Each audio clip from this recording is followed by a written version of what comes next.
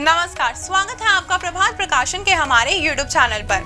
अगर आप हमारे चैनल पर पहली बार आए हैं तो हमारे चैनल को सब्सक्राइब करना ना भूलें। चलिए, शुरुआत करते हैं आज की वीडियो से। 7 जुलाई अठारह सौ छियानवे की बात है, जब मुंबई में ल्यूमियर भाइयों की फ़िल्म लगी हुई थी, जिसमें सिर्फ़ ब्रिटिश लोगों को ही आमंत्रित किया गया था, क्योंकि वॉटसन होटल के बाहर एक तख्ती लगी रहती, जिस पर लिखा होता, भारतीय और कुत्ते होटल में नहीं आ सकते हैं। एक भारतीय उद्योगपति भी फ़िल्में देखना चाहता था, लेकिन उन्हें वोटसन होटल में प्रवेश नहीं मिला। इस घटना के दो साल बाद ही वोटसन होटल की सारी शोभा धूमिल कर दे। एक ऐसे भव्य ताजमहल होटल का निर्माण उस भारतीय उद्योगपति ने शुरू करवाया। बात साल 1903 की है, जब यह भव्य सुंदर होटल बनकर तैयार हो गया। कुछ समय तक इस होटल के दरवाजे पर एक तख्ती भी लटकती थी, जिस पर लिखा होता, ब्रिटिश और बिलियाँ अंदर नहीं आ सकती हैं। इस होटल का निर्माण करवाने वाले कोई और नहीं, बल्कि टाटा समूह के संस्थापक जमशेद जी टाटा थे। आज उनकी पुण्यतिथि है। जमशेद जी टाटा का जन्म 3 मार्च अठारह में दक्षिणी गुजरात के नवसारी में एक पारसी परिवार में हुआ। उनके पिता का नाम नुसीरा वानजी और माता का नाम जीवन बाई टाटा था। उनके पिता अपने खानदान में अपना व्यवसाय करने वाले पहले व्यक्ति रहे। वही मात्र 14 वर्ष की आयु में ही जमशेद जी अपने पिता के साथ बम्बई आ गए और व्यवसाय की दुनिया में कदम रखा।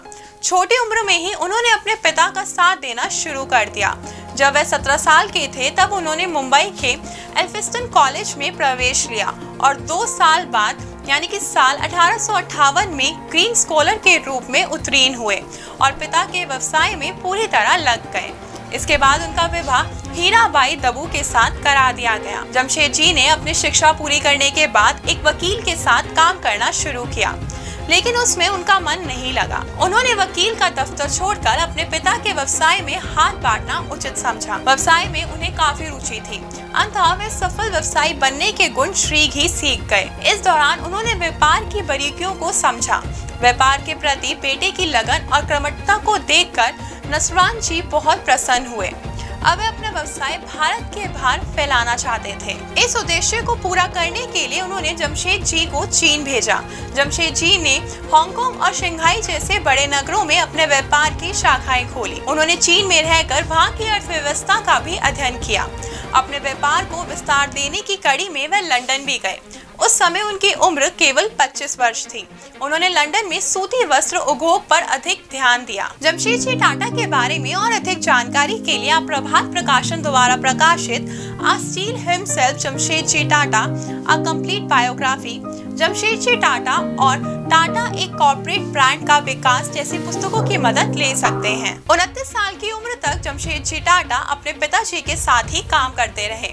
वहीं अठारह में उन्होंने इक्कीस हज़ार रूपयों के साथ अपना खुद का व्यवसाय शुरू किया। सबसे पहले उन्होंने एक दिवालिया तेल कारखाना खरीदा और उसे एक रुई के कारखाने में तब्दील कर दिया और उसका नाम बदलकर अलेक्सेंडर मिल रख दिया।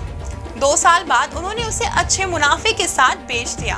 इस पैसे के साथ उन्होंने नागपुर में अठारह में एक रुई का कारखाना लगाया। महारानी विक्टोरिया ने उन्हीं दिनों भारत की रानी का खिताब हासिल किया था और जमशेद जी टाटा ने भी वक्त को समझते हुए कारखाने का नाम इम्प्रेसिस मिल रखा। उद्योगी विकास कार्यों में जमशेद जी यही नहीं रुके।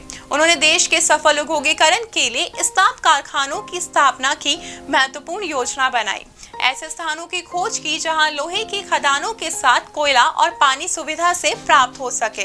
अंतः उन्होंने बिहार के जंगलों में सिंह भूमि ज़िले में वह स्थान खोज निकाला, जिसके बाद जमशेद जी इंग्लैंड चले गए। वहाँ लंकाशायर से बारीक वस्त्र की उत्पादन विधि और उसके लिए उपयुक्त जलवायु का अध्ययन किया, जिसके बाद वह भारत लौटे और इसके व्यापार के लिए उन्होंने नागपुर को चुना और वहाँ वातुनिकुलित सूत मिलों की स्थापना की। भारतीय औद्योगिक क्षेत्र में जमशेद जी का योग असाधारण महत्व रखता है। उन्होंने भारतीय औद्योगिकी विकास का मार्ग ऐसे समय में प्रशस्त किया, जब उस दिशा में केवल यूरोपीय विशेष अंग्रेज़ ही कुशल समझे जाते थे। लेकिन उस दौर में जमशेद जी टाटा ने अपने कामों से अपने साथ साथ देश का भी नाम किया। आज ही के दिन, यानी 19 मई 1904 को जर्मनी में उनकी मृत्यु हो गई दोस्तों, अगर आपको हमारी ये वीडियो पसंद आए हो तो सिर्फ़ दोस्तों के साथ भी ज़रूर शेयर करें। और अगर आपके पास हमारे कोई सवाल है तो उसे कमेंट में लिखकर हमें ज़रूर बताएँ। आपसे जल्दी मुलाकात होगी एक नए टॉपिक पर, एक नई वीडियो के साथ। देखते रहिए प्रभात प्रकाशन। नमस्कार।